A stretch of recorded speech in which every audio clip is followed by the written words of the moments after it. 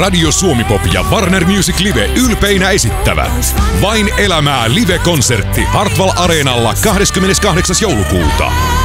Mukana kaikki kauden tähtiartistit. Liput tulevat myyntiin ensi keskiviikkona kello 16 Ticketmasterissa. toimin nopeasti.